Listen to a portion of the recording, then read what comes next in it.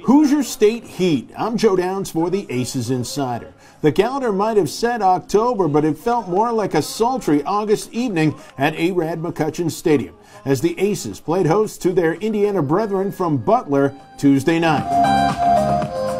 Goalkeepers in the country, 13th pick to Kansas City in the MLS draft.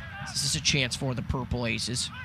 Zambrano finds it at his feet. He's going to find Jesse Stafford Lacey. Ben Weber's in the box with him. Jesse Stafford Lacey, good slide tackle.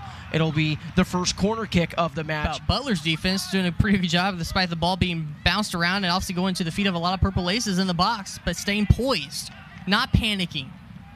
And Ryan Clark doing a good job going out and grabbing that one finally. He feels like the offensive talent's there. It's just not been flowing together well. Um, obviously, they got the one goal the other day. They tied back up against Missouri State. But for the Purple Aces, uh, this is their 4 2 3 1 from Coach.